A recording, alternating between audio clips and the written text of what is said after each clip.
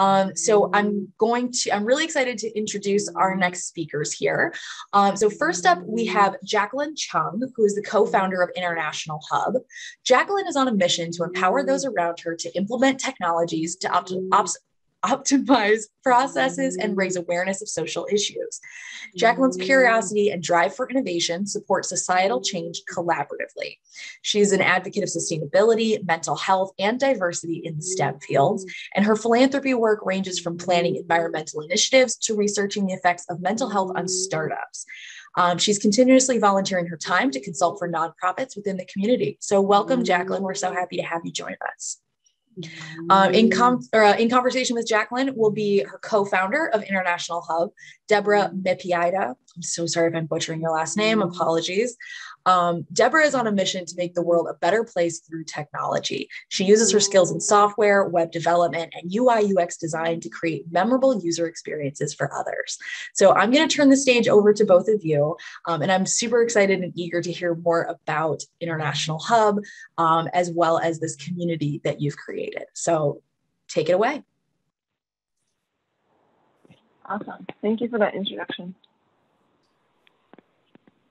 Thanks, Meg. So I'm so excited to be here with Jacqueline and Deborah. I am your moderator, Nirupa Netram. Um, let's start by learning a little bit more about each of you and what led you to start the International Hub.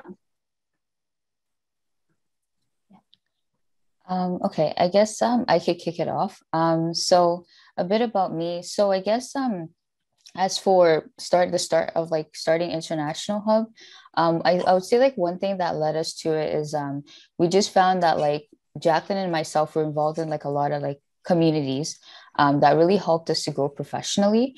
So, with being involved with that, we noticed a lot of our friends didn't know much about the different opportunities there were, like, for example, like events, hackathons, um, all sorts of things to basically help you grow professionally.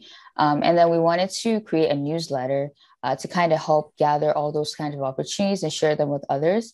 But it didn't really make sense because like a lot of people already had that in existence. Um, so then that's kind of like how the idea of um, a database started. So basically, um, International Hub, um, basically, we're a community and a database, and our goal is to, to support um, international students to basically achieve their dream careers. So initially, we started off with a database, and we wanted to just centralize all sorts of opportunities from different parts of the world to help people grow professionally.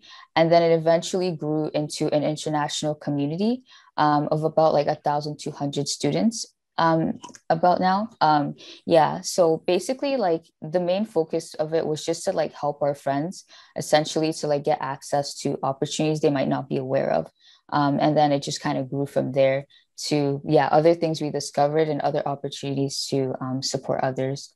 Um, yeah, that's kind of how. Yeah, that's basically the backstory of it. And I don't know if you have anything to add, Jacqueline.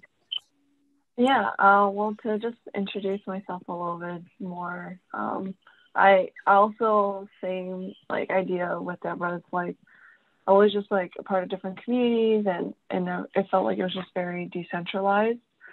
Um, so we just wanted to make it more effortless for people to find opportunities through the database, but also provide that community aspect because of the pandemic.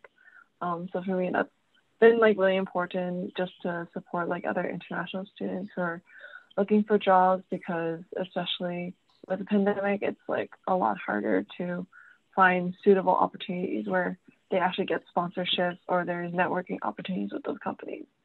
So that's uh, what I would say why I, I decided to start it with Deborah. Thank you so much. That was really great information. And as we're hearing from you, we want to encourage the audience to feel free to drop your questions in the chat to the right because our wonderful speakers are going to be taking questions live. So as I listen to you, one of the things I think about is why do you think international students face problems coping with the local environment? So I definitely think that because of um, like the cultural like differences, like especially for international students, like if they're like for example they come from like India and they come here, like first of all it's just like culture shock and they don't really understand like you know what are the the societal norms or like um, you know potentially like the work culture is different academics like how you study is different. Um, so it's just like an adjustment from there. And then when they come here they don't really have that network like that network that like supported people who are already born in canada um, and so they struggle more with like being able to network with the right employers and uh, which events to go to are uh, which ones are like most worthwhile. And then because of this it causes them to be isolated from their peers or from profession other like professionals and employers. So they don't have that community aspect uh, when they're trying to network or get a job and then the last thing is like with the international students, like there is like the international center, but they don't have like all the support that like that constant support um, for just like regular things, like even just like applying for the right job portals. Like there's certain portals that allow you to use, allow you to know what companies like actually sponsor visas, and there's ones that just you don't know at all until you actually get into the process. So I feel like there's not enough support in the recruitment aspect of it, mostly just in the academic aspect of it. Um, when it comes to like career counseling, it's a lot more like general and not like catered towards the international students' needs. So that's why I feel like those are like the main like problems that international students face when they come into like a new country um, or with the local environment. Deborah, did you have anything to add? Um, no, I think uh, Jacqueline covered the main things. Um, I think like yeah, community is a big thing. Uh, because like generally, I guess speaking from experience, um, I did exchange um in the UK for a bit, and um, I remember when I initially got there, I was like, first of all, just getting used to the culture, getting used to the education system, and then I had like nobody. I think the only people I had were like my flatmates who lived with me. So um, if not for them, I would have been like very lost and like had a hard time. Um, and I got some support from the school as well. But like, I feel like sometimes that support is just limited. And when you get to a new country, it's also nice to connect with people who live there.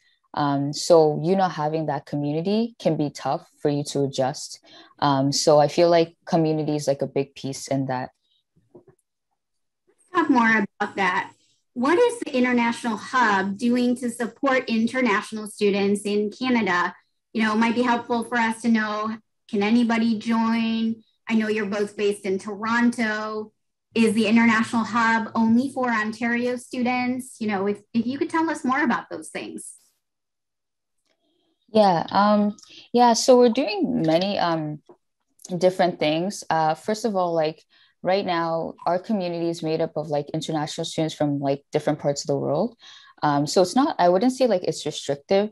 Like our our target like we're mainly focusing on like international students in canada um, helping them to pro- like providing them with the resources they need to um, to like grow professionally and get a job in tech specifically um, but at the same time it doesn't mean that like other people aren't welcome. Like we the resources like in our community we provide like all sorts of resources.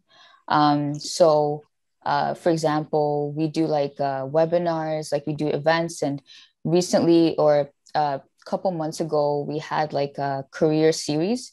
Um, career i think it was like a yeah career development series where we had someone talk about like what it's like after you graduate and like how to be the best like in your job. And then um, the other one was about visas. So we provide that kind of content and it really caters to like anybody who honestly like might be international not international. Um, so in that aspect like i guess the international piece would be the visa. Um, so we cater more to like international students particularly but we do provide content that like is really focused on like career development. Like for example even like um, resume reviews we did that as well. And then we want to dive more into like mentorship. Um, so yeah so those are some things we're doing to um, to support students. Yeah. jacqueline anything to add? No i think deborah covered it. All right. I just want to make sure i give you equal yeah for sure. Um, So we're still in the midst of a pandemic. How is the International Hub helping international students cope with the COVID restrictions of all these different countries? Seem to be changing. Yeah, for sure. So like um, kind of bouncing off more of what Deborah was saying with like our online community. So right now we use like um, like this platform called Ladder, and it's like a professional network platform that has like other communities like entrepreneurship, women in tech, uh, like social impact, things like that. And so we're just one of like the communities under Ladder. And so what we do to like kind of overcome those barriers of like COVID restrictions is like really leveraging that online aspect. So like having online events, um, online like meetups. Uh, we try to like form like individual like groups with people who want to learn like a new language um, or in like certain areas of like the world. So like there would be like a Canadian group chat. Um, so that kind of allows them to be like more connected. And we just want to leverage like all these different like online platforms to like build up that community so that students are able still like are still able to like communicate with each other and like connect with each other. And then the other thing that we hope to do like more in the future is like doing more events that support students during this time, like with COVID, because um, like there's a lot of issues with like visas, you know, getting canceled, or it's a lot harder to get visas, like going to like the U.S. or like abroad, because you're not able to actually like apply for them because of COVID, and um, there's also like that, like there's certain visas that have like lottery systems, so you have to have like a certain degree so there's so many different like regulatory like uh, nuances to it that like I feel like it's important to have some like events or information uh, or education around it for the community members. So we're hoping to like do more education around that in the future. So uh, that's how International Hub is trying to support like international students during the pandemic. Great. Um, you know, that's the immigration keeps changing as well, right? Immigration restrictions and COVID restrictions. So I'm I'm glad to hear that you're doing all these things to support these communities. Yeah, definitely. In big corporations, do you think each of you had an advantage over international students? Um, I think I personally I, I feel like um, I feel like because we're like in big corporations, it definitely does help with like I guess differentiating ourselves. Like let's say if we like us being based in Canada, we want to like get a job in the US. Um, it would help in the, in that sense because we are it's like a we're in like a global company um, and in that way like another part of the world they would recognize oh i know this company and like it's good credibility on us um, but I wouldn't say like I, I, I think like we still like have the same um, barriers that like other students have. Um, I think like when it comes to visas, like that's uh, one big thing, and like the whole like visa process, and um, like I guess for me, it is a bit uh, quicker for me to get a visa because I think for me because I'm in um, stuff more related to like software engineering, so like more coding. So it'd be more like a TN visa, and that looks a bit different. Um, and also being like a Canadian citizen, like that helps. Um, but generally, like I feel like other than that, um, I think visas could be a challenge for us as well, um, depending on like the type of company or the type of visa we need. Um, and uh, I, I would also say yeah i would say like that's that's the main thing.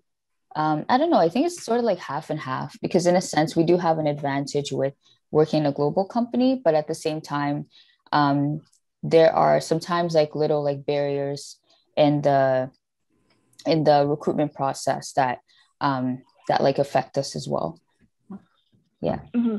i just wanted to add a little bit on top of that. So yeah like for me like right now i'm working at microsoft and I'm working in like the Toronto office, so I think because I'm a Canadian citizen, it was just it's easier to find a job and get interviews for like Canadian roles, which makes sense.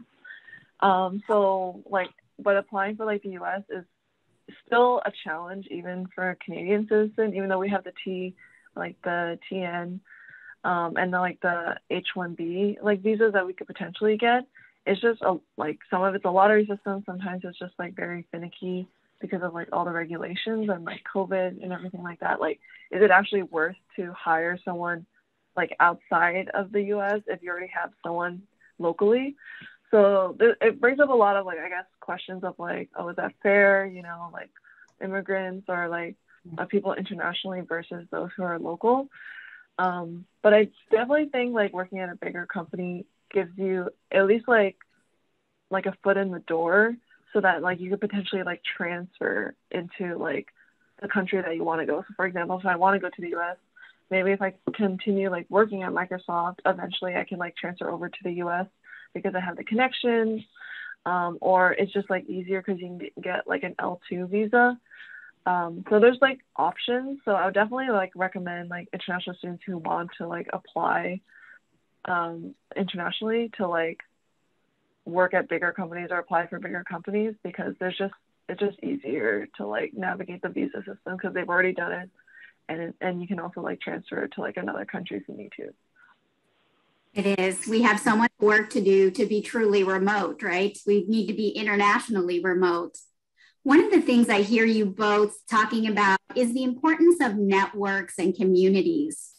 What are some of the ways that students, international students in our audience today, can have confidence to leverage their networks?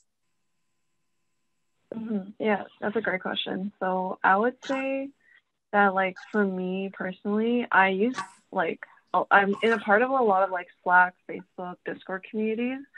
So like for example, like Product Buzz, Design Buddies, um, like Intern Club, and even like Ladder itself. They have like a bunch of different networks. And then my LinkedIn uh, like has been like super helpful. So I would say like really leverage those social networks and like slowly build up kind of that job ready network so that like if you're ever looking for a job, you can always like message different people like, oh, you know, I was really interested in this role. Like, do you have anything available? Or like this is my background and this is my experience so like would you have any roles related to this? So like i think like building up that network and like kind of following up with people and, and connecting with different people whether it's like cold calling or through like a warm introduction i think it's important to be consistent and also like diligent about it because you're not going to get like a good network overnight. It takes like years to like build it up and like eventually people will feel comfortable like referring you for jobs so that's that's what I would do if you're like an international student trying to like build up your community. It's just like be consistent and be diligent about it.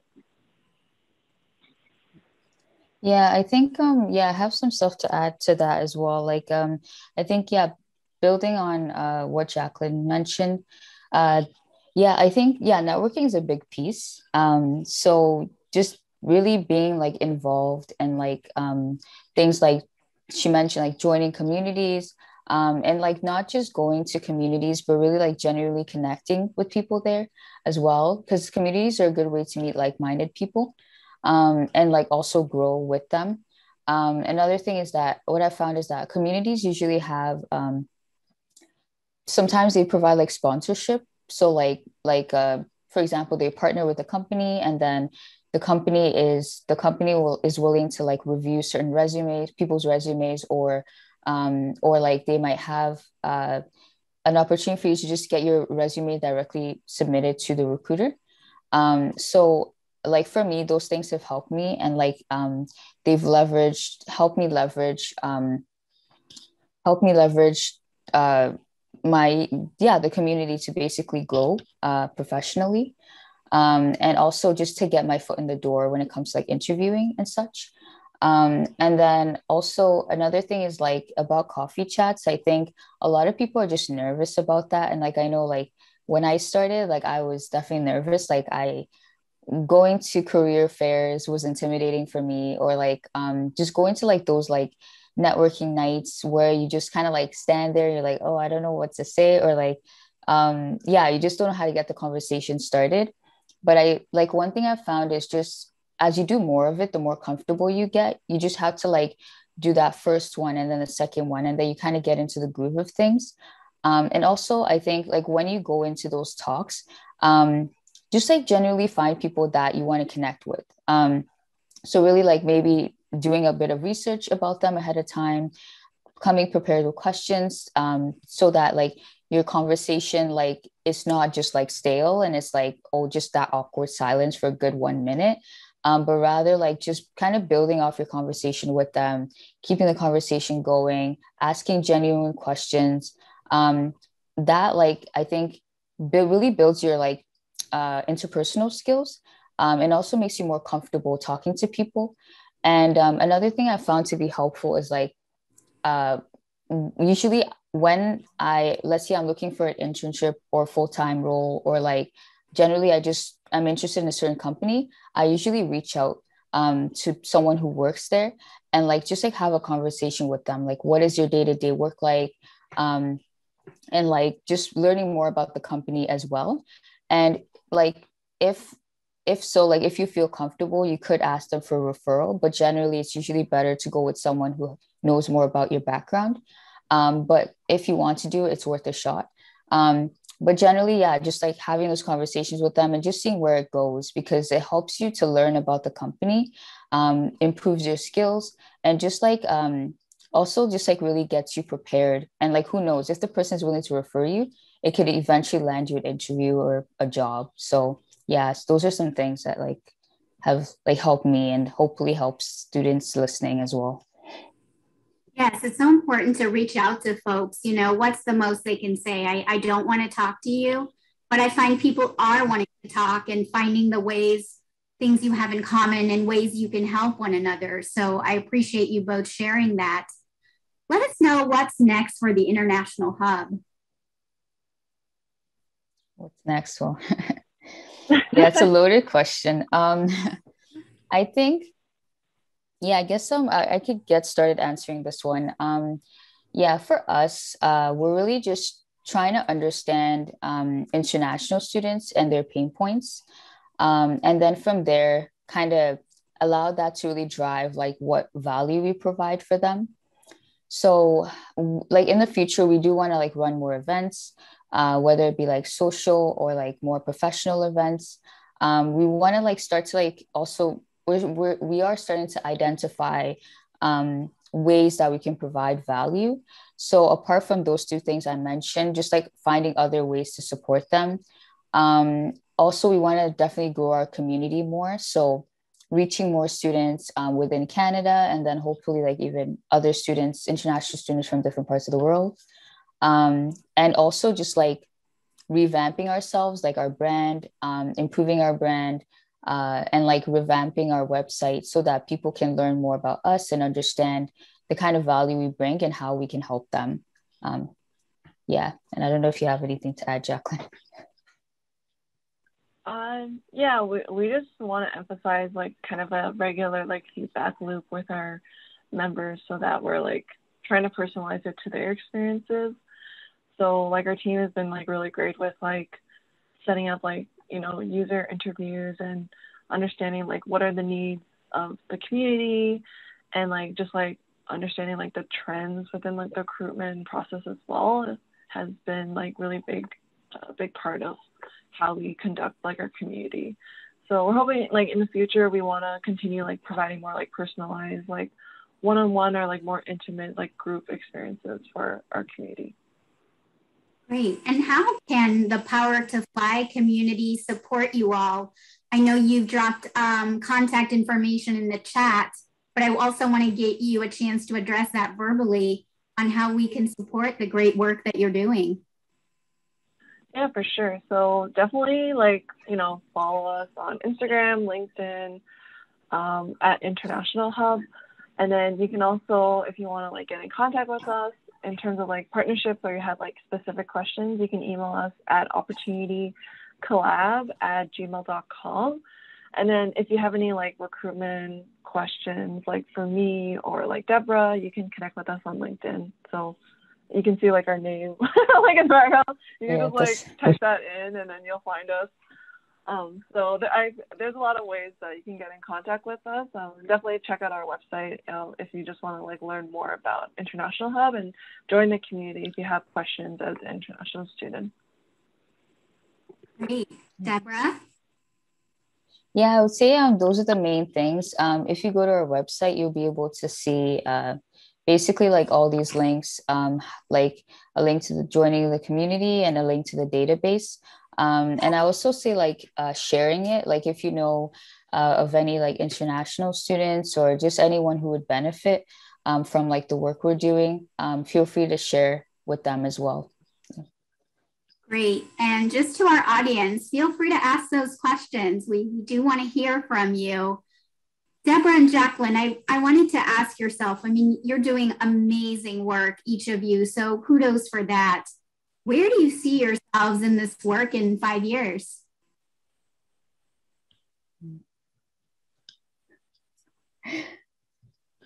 I would smiling, say, so that's good.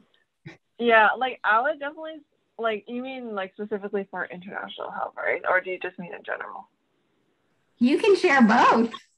Okay, so for me, international hub, like I hope that will like continue to grow our community and provide like more services, you know, like have like a good suite of like coaches or mentors in our roster. And then also I, I would like to like see us like have more partnerships with like various international networks or employers so that they can like host like events with international students so that like the students can you know build up their network and actually like get jobs from like the events or our community. So I would really just like to see a lot of like like conversions for like international students to become like interns or uh, like new grads um, like through our community. And then personally, like um, I like I like I think being an entrepreneur is like really fun and like and like fast paced and like there's just a lot of unknowns. So I would definitely want to like you know continue being like an entrepreneur um, in some aspect um, and just like support the community however I can through like uh, various like social causes like sustainability, mental health, and diversity, um, along with like international hub. So that's that's that's where I see myself going in like the next five years. It's pretty big, but like I just wanted to be like within that realm.